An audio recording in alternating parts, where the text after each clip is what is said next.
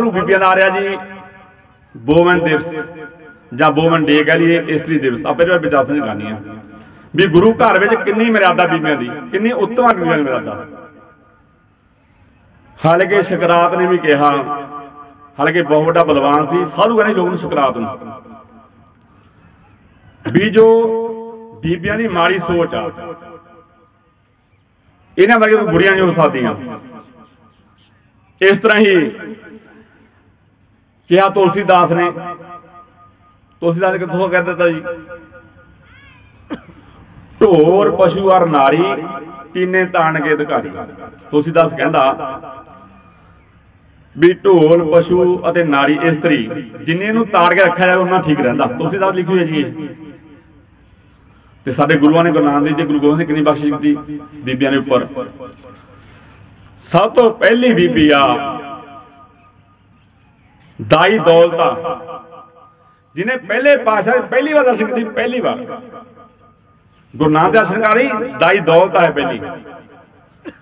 ਗੁਰੂ ਨਾਨਕ ਦੀ ਪਹਿਲੀ ਸਿੱਖ ਬੀਬੀ, ਭੈਣ ਨਾਨਕੀ ਆ।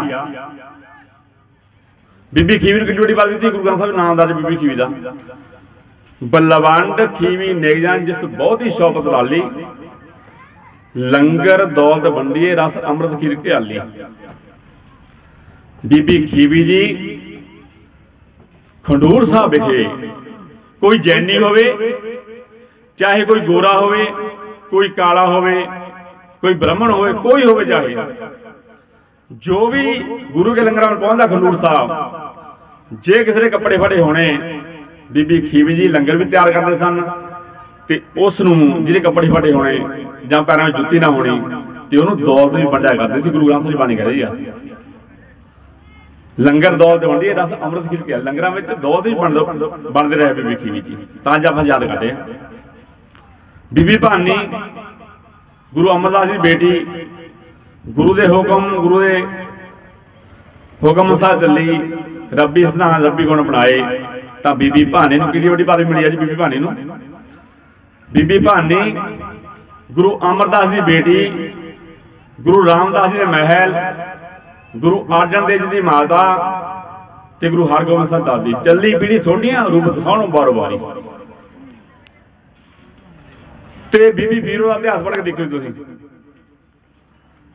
ਆ ਜੀ ਸਾਡੀਆਂ ਭੈਣਾਂ ਨਾ ਦੇ ਦਿਲੋਂ ਵਿੱਚ ਵਸਾ ਕੇ ਲੈ ਕੇ ਜਾਓ ਗੱਲ ਬੀਬੀ ਵੀਰੋ ਜੀ, ਦੋਵਾਂ ਚ ਆਈ ਗੱਲ। ਕੱਲ ਨੂੰ ਇਸ ਦਿਵਸ ਮਨਾ ਰਹੇ ਨਾ ਆਪਾਂ, ਬੀਬੀ ਵੀਰੋ ਦਾ ਇਤਿਹਾਸ ਯਾਦ ਰੱਖੋ ਪਿੰਡ ਚਪਾਲ ਜਦੋਂ ਗੁਰੂ ਹਰਗੋਬਿੰਦ ਸਾਹਿਬ ਦੀ ਬੇਟੀ ਬੀਬੀ ਵੀਰੋ ਦੇ ਆਨੰਦ ਕਾਰਜ ਭਾਈ ਸਾਹਿਬ ਨਾਲ ਹੋਣੇ ਸਨ। ਗੁਰੂ ਹਰਗੋਬਿੰਦ ਸਾਹਿਬ ਕਹਿਣ ਲੱਗੇ ਆਪਣੀ ਬੇਟੀ ਬੀਬੀ ਵੀਰੋ ਨੂੰ। ਵੀ ਦੇਖ ਬੇਟੀ, ਤੈ ਮਾਪਿਆਂ ਦੇ ਘਰ ਜਾਣਾ, ਨਾ ਤੈ ਸਹੁਰਿਆਂ ਦੇ ਘਰ ਜਾਣਾ ਹੈ ਮਾਪਿਆਂ ਦੇ ਘਰ ਤੇ ਮੌਜਾਂ ਕੀਤੀਆਂ ਨੇ, ਤੇ ਸਹੁਰੇ ਘਰ ਜਾਣਾ। ਵੀ ਤੈਨੂੰ ਮੈਂ ਤਿੰਨ ਨੇ ਜੋ ਦੱਸਣ ਲੱਗਿਆ ਆਨੰਦ ਕਾਰਜ ਹੋਣ ਤੋਂ ਪਹਿਲਾਂ ਜੀ। ਜੋ ਇਹ ਵਿਚਾਰਾ ਭਾਈ ਪਿੰਦਰਪਾਲ ਸਿੰਘ ਨੇ ਸਾਂਝੀ ਕੀਤੀ ਆ ਜੀ। ਪਹਿਲੀ ਗੱਲ ਕੀ ਕਹੀ ਸੀ? ਗੁਰੂ ਹਰਗੋਬਿੰਦ ਸਾਹਿਬ ਨੇ ਆਪਣੀ ਬੇਟੀ ਬੀਬੀ ਵੀਰੋ ਨੂੰ। ਵੀ ਜਿਹੋ ਜਿਹਾ ਤੈਨੂੰ ਕਪੜਾ ਪਾਉਣ ਨੂੰ ਮਿਲੇ ਪਾ ਲੈਣਾ, ਸਹੁਰੇ ਘਰ ਦੀ ਨਿੰਦਾ ਨਹੀਂ ਕਰਨੀ। ਪਹਿਲਾ ਕਵਚਨ। ਦੂਸਰਾ ਕਵਚਨ। ਜਿਹੋ ਜਿਹਾ ਗੁਰੂ ਪ੍ਰਸਾਦਾ ਖਾਣ ਨੂੰ ਮਿਲੇ, ਤੈਂ ਖਾ ਲੈਣਾ, ਸਹੁਰੇ ਘਰ ਦੀ ਨਿੰਦਾ ਨਹੀਂ ਕਰਨੀ। ਛੇਵੇਂ ਪਾਸੇ ਨੇ ਕਹਿੰਦੇ ਗੁਰੂ ਹਰਗੋਬਿੰਦ ਸਾਹਿਬ ਬੀਬੀ ਵੀਰੋ ਤੀਸਰਾ ਕਵਚਨ। ਜੇਕਰ ਸਹੁਰੇ ਘਰ ਜਾ ਕੇ ਤੈਨੂੰ ਭੁੰਜੇ ਸੌਣ ਵੀ ਮਿਲੇ ਤਾਂ ਤੇ ਸੌਣ ਵੀ ਮਿਲ ਜਾਵੇ। ਪਰ ਸੌ ਜਾਣਾ, ਸਹੁਰੇ ਘਰ ਦੀ ਨਿੰਦਾ ਨਹੀਂ ਕਰਨੀ, ਤੂੰ ਸੁਖੀ ਰਹੇਂਗੀ ਛੇ ਪਾਸੇ ਨੇ ਕਹੀ ਵੀ ਵੀਰੋ ਨੂੰ ਗੱਲ ਇਹ ਮੈਂ ਦੱਸ ਇਹ ਵੀ ਬੇਨਤੀ ਕਰ ਲੈਂਦਾ ਵੀ ਸਾਡੀ ਜਿਹੜੀ ਭੈਣ ਜਾਂ ਸਾਡੀ ਧੀ, ਇਹ ਗੱਲ ਸਮਝੂ ਅੱਜ ਇੱਥੋਂ ਵੀ ਸਹੁਰੇ ਘਰ ਦੀ ਨਿੰਦਾ ਕਰਨੀ ਕਿੰਨੀ ਮਾੜੀ ਆ। ਫਿਰ ਉਹਦਾ ਕਦੇ ਤਲਾਕ ਨਹੀਂ ਹੋਊਗਾ ਜੀ। ਗਾਰੰਟੀ ਨਾਲ ਕਹਿ ਦਿੰਦਾ ਮੈਂ। ਜਾਂ ਚਾਰਾਂ ਨਾਮ ਦੇ ਸ਼ਬਦ ਅਰਥ ਪਾ ਲਈ ਅਸੀਂ। ਮੈਂ ਗੱਲ ਕੀਤੀ ਨਿੰਦਾ ਦੀ ਪਹਿਲਾਂ ਸ਼ੁਰੂ ਦੇ ਵਿੱਚ। ਵੀ ਨਿੰਦਾ ਕਿੰਨੀ ਮਾੜੀ ਆ। ਛੇਮ ਪਾਤਸ਼ਾਹ ਨੇ ਆਪਣੀ ਬੇਟੀ ਨੂੰ ਇਹੀ ਗੱਲ ਸਮਝਾਈ। ਤਿੰਨੇ ਕਵਾਸਾਂ ਵਿੱਚ ਵੀ ਨਿੰਦਾ ਕਰਨ ਭਾਈ ਬਹੁਤ ਮਾੜੀ ਆ। ਆਪਾਂ ਲਿਆ ਸੀ ਬੀਬੀਆਂ ਦਾ ਇਤਿਹਾਸ। ਬੀਬੀ ਵੀਰੋ ਦੇ ਦੋ ਸਹਿਬਜ਼ਾਦੇ ਜੋ ਭਗਾਣਿਆ ਯੁੱਧ ਹੋਇਆ ਸੀ 1687 ਦੇ ਵਿੱਚ। ਸਭ ਤੋਂ ਪਹਿਲਾ ਯੁੱਧ ਤੇ ਵੱਡਾ ਯੁੱਧ ਆ। ਉਹਦੇ ਵਿੱਚ ਬੀਬੀ ਵੀਰੋ ਜੀ ਦੇ ਦੋ ਸਹਿਬਜ਼ਾਦੇ ਸ਼ਹੀਦ ਹੋਏ ਸਨ। ਹੁਣ ਆਪਾਂ ਗੱਲ ਲਈਏ ਇਤਿਹਾਸ। ਮਾਤਾ ਗੁਜਰ ਕੌਰ ਜੀ ਦਾ। ਜੀ, ਅਸੀਂ ਨਾ ਇਸਤਰੀ ਦਿਵਸ ਮਨਾਉਣਾ ਜੀ। ਆਹ ਗੱਲਾਂ ਜਾਣਕਾਰੀ ਕਰੀ ਅਸੀਂ। ਇੱਕ ਮੈਂ ਕਿਤਾਬ ਨਾਮ ਵੀ ਲੈ ਲੈਣਾ ਸਿੱਖ ਬੀਬੀਆਂ ਦਾ ਇਤਿਹਾਸ। ਇਹ ਬੀਬੀ ਸਿਮਰਨ ਕੌਰ ਨੇ ਕਿਤਾਬ ਲਿਖੀ ਹੈ ਜੀ, ਲਿਓ। 70 ਰੁਪਏ ਦੀ ਕਿਤਾਬ ਆ ਸਿਰਫ ਇਹ। 100 ਪੰਨਾ ਸਿਰਫ ਉਹਦਾ। ਦੁਆਰਾ ਫਿਰ 10 ਮਿੰਟ ਦੀ ਗੱਲ ਵੀ ਕਿਤਾਬ ਦਾ ਨਾਮ ਹੈ ਸਿੱਖ ਬੀਬੀਆਂ ਦਾ ਇਤਿਹਾਸ, ਲੇਖਕ ਆ ਬੀਬੀ ਸਿਮਰਨ ਕੌਰ। ਜੋ ਸਾਡੀਆਂ ਸਿੱਖ ਤਿਆਰੇ ਬੀਬੀ ਨੇ ਸਾਰੀ ਉਹਨੇ ਇਤਿਹਾਸ ਲਿਖਿਆ। ਆਪਾਂ ਹੁਣ ਗੱਲ ਕੀਤੀ ਵੀ ਮਾਤਾ ਗੁਜਰ ਕੌਰ ਜੀ ਗੁਰੂ ਦੇ ਭਾਣੇ, ਗੁਰੂ ਦੇ ਹੁਕਮ ਵਿੱਚ ਰਹੀ। ਤੇ ਅੱਜ ਮਾਤਾ ਗੁਜਰ ਨੂੰ ਆਪਾਂ ਯਾਦ ਕਰਦੇ ਆਂ। ਮਾਤਾ ਗੁਜਰ ਕੌਰ ਜੀ ਆਪਣੇ ਪੁੱਤ ਨੇ ਇਹੋ ਜਿਹਾ ਸਿੱਖ ਦਿੱਤੀ ਸੀ ਤੇ ਜਿਹੜੇ ਸਰਹੰਦ ਦੇ ਨਿਯਮ ਵਿੱਚ ਨੇ ਵੀ ਗਏ, ਪਰ ਡੋਲੇ ਨਹੀਂ ਐ ਸਾਹਿਬਜ਼ਾਦੇ ਛੋਟੇ। ਬਾਬਾ ਫਤਿਹ ਸਿੰਘ ਤੇ ਬਾਬਾ ਜੋਰਾਵਰ ਸਿੰਘ। ਸਾਨੂੰ ਅੱਜ ਵੀ ਕਹਿੰਦੇ ਇਹੋ ਜਿਹਾ ਸਿੱਖੀ ਲੈਣੀ ਚਾਹੀਦੀ ਆ। ਅਸੀਂ ਸਿੱਖਿਆ ਕੀ ਦੇਣੀ ਆ? ਅਸੀਂ ਤਾਂ ਹੁਣ ਕਹਿੰਦੇ ਆ ਜੀ ਬੱਚੇ ਛੋਟੇ ਜੀ, ਬਾਲ ਬਣੇ, ਬੋਣੇ ਬੜੇ ਔਖੇ ਆ, ਕੇਸ ਕਟਾ ਦੇ, ਵੱਡਾ ਹੋ ਕੇ ਰੱਖ ਲੂ ਜਿਹੜਾ ਨਾ ਬੱਚਾ ਛੋਟਾ ਹੁੰਦਾ ਨਹੀਂ, ਬਾਲ ਰੱਖਦੇ ਕੇਸ ਰੱਖਦਾ, ਉਹ ਵੱਡਾ ਹੋ ਕੇ ਨਹੀਂ ਰੱਖਦਾਗਾ ਮੈਂ ਇਹ ਇਹ ਕਹਿੰਦਾ ਨਾ ਬੀਬੀਆਂ ਨੂੰ, ਹੱਥ ਜੋੜ ਕੇ, ਹੱਥ ਜੋੜਨਾ ਚਰਨਾਂ ਦੇ ਵਿੱਚ। ਵੀ ਜਦੋਂ ਬੱਚਾ ਛੋਟਾ ਹੁੰਦਾ, ਉਹਦੇ ਕੜਾ ਪਾ ਲਓ ਜੋ ਥੋੜਾ ਜਿਹਾ ਵੱਡਾ ਹੋਇਆ ਉਹਦੇ ਸ਼ਹਿਰਾ ਪਾ ਲਓ ਤੇ ਕੇਸ ਨਾ ਕਟਾਓ ਪਹਿਲਾਂ। ਕੇਸ ਨਹੀਂ ਕਟਾਉਣੇ, ਇਹ ਗੁਰੂ ਦੀ ਤਬਰੀ ਕੀਤੀ ਬਖਸ਼ਿਸ਼ ਆ।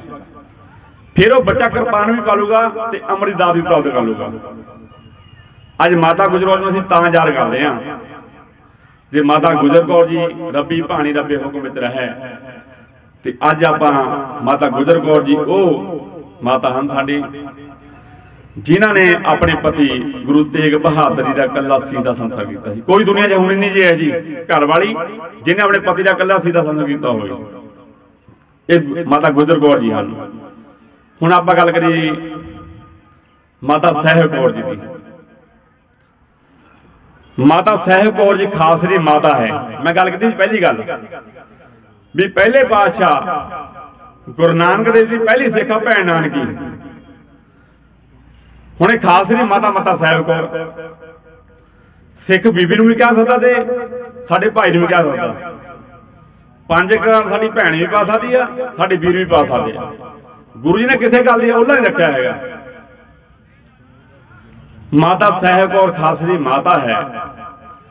ਗੁਰੂ ਗੋਬਿੰਦ ਸਿੰਘ ਦੀ ਜੋਤੀ ਜੋਤ ਸੌਣ ਤੋਂ ਬਾਅਦ ਮਾਤਾ ਸਾਹਿਬ ਕੌਰ ਨੇ 43 ਸਾਲ ਸਿੱਖੋਂ ਦੀ ਕਮਾਂਡ ਕੀਤੀ ਹੈ ਜੀ 43 ਸਾਲ ਪੂਰੇ। ਹੁਣ ਆਪਾਂ ਗੱਲ ਕਰਨੀ ਆ ਮਹਾਰਾਜਾ ਰਣਜੀਤ ਸਿੰਘ ਦੀ, ਸੱਸ ਦੀ ਗੱਲ ਕਰਨੀ ਆ ਸਲਾ ਕੌਰ ਦੀ। ਵੈਸੇ ਸਰੂਪਾ ਇਹਨੂੰ ਉਹ ਸਮਾਧੀ ਕਰ ਲੈਣੀ ਚਾਹੀਦੀ ਆ, ਪਰ ਫਿਰ ਵੀ ਮੈਂ ਅੱਛਾ ਅੱਛਾ ਹਾਂਜੀ, ਬਸ। ਆਪਣਾ ਮਹਾਰਾਜਾ ਇਤਿਹਾਸ, ਜਦੋਂ ਪੰਜਾਬ ਸੀ ਇਹ। ਹਿੰਦੁਸਤਾਨ ਨਹੀਂ ਸੀ, ਭਾਰਤ ਨਹੀਂ ਸੀ। ਜਦੋਂ ਪੰਜਾਬ ਦੀ ਗੱਲ ਕਰਦਾ ਮੈਂ। ਪਹਿਲਾਂ ਆਪਾਂ ਗੱਲ ਕਰਦੇ ਸਦਾ ਕੌਰ ਦੀ। ਮਹਾਰਾਜਾ ਰਣਜੀਤ ਸਿੰਘ ਦਾ ਜੋ ਵਿਆਹ ਬੀਬੀ ਮਹਤਾਬ ਕੌਰ ਨਾਲ ਹੋਇਆ, ਸਦਾ ਕੌਰ ਮਹਾਰਾਜਾ ਰਣਜੀਤ ਸਿੰਘ ਦੀ ਸੱਸ ਸੀਗੀ।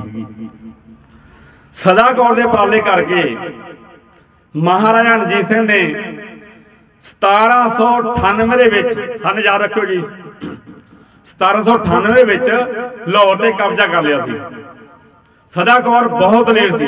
ਬਹੁਤ ਸੋਝੀ ਸੀ ਸਦਾ ਕੌਰ ਨੂੰ। ਬਹੁਤ ਸਿਆਣੀ ਸੀ, ਬਹੁਤ ਸੂਰਬੀਰ ਸੀ। ਜਦੋਂ ਬੀਬੀ ਸਦਾ ਕੌਰ ਦਾ ਪਤੀ ਭਾਈ ਗੁਰਵਾਸ ਸਿੰਘ ਚੜਾਈ ਕਰ ਗਿਆ, ਜੰਗ ਦੇ ਮੈਦਾਨ ਦੇ ਮਲਤਾਨ ਦੇ ਵਿੱਚ, ਤਾਂ ਸਦਾ ਕੌਰ ਸਾਥ ਸਜਾ ਕੇ ਮਲਤਾਨ ਗਈ ਜੰਗ ਦੇ ਵਿੱਚ। ਇਹ ਆ ਮਹਾਰਾਣੀ ਸਿੰਘ ਦੀ ਸੱਸ, ਜਿਹਦੇ ਕਰਕੇ ਲਾਹੌਰ ਤੇ ਕਬਜ਼ਾ ਹੋਇਆ। 1801 ਦੇ ਵਿੱਚ।